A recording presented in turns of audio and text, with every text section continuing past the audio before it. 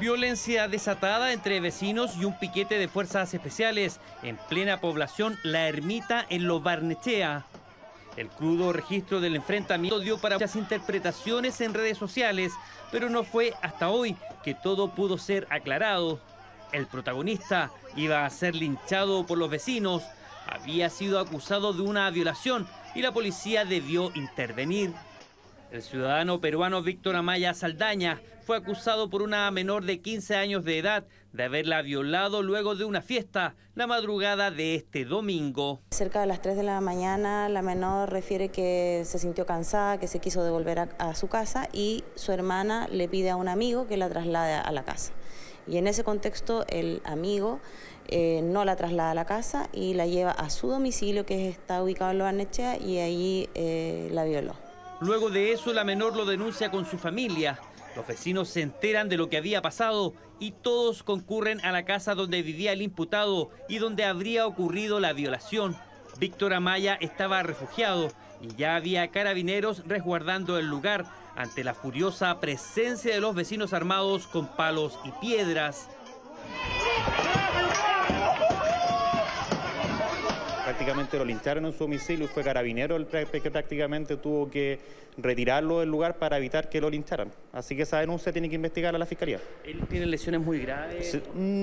Quedó inconsciente, pero al menos ahora está relativamente estable. El momento que perdió la conciencia, pero ahora está relativamente estable. La patrulla logra sacar al detenido de la población, pero la furia siguió contra los carabineros.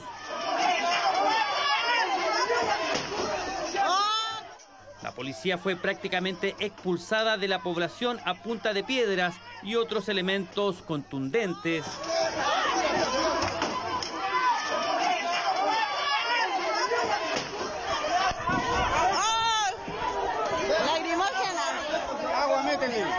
Fue necesario el uso de gas lacrimógeno para que Carabineros pudiera salir de la población.